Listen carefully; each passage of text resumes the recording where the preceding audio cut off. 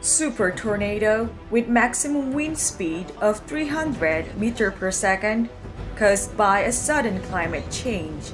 Rainstorm that even blows airline flights away and flames that soars up to the sky swept over Oklahoma Silverton, messing up the region. Meteorologists and storm chaser flocked into the area to directly observe and record the tornado and the people who are having struggles due to the largest tornado ever, which sucks everything like a vacuum cleaner. This is the movie Into the Storm, with the first 20 minutes feeling like an hour and making you bored, but with following an hour that makes you feel it's just 20 minutes.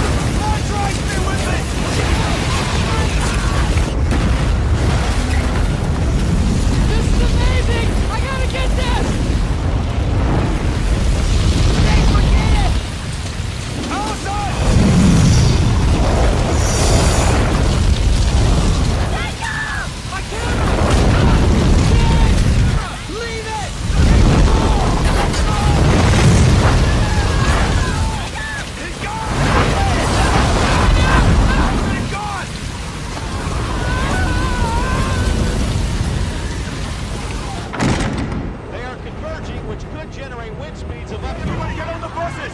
Let's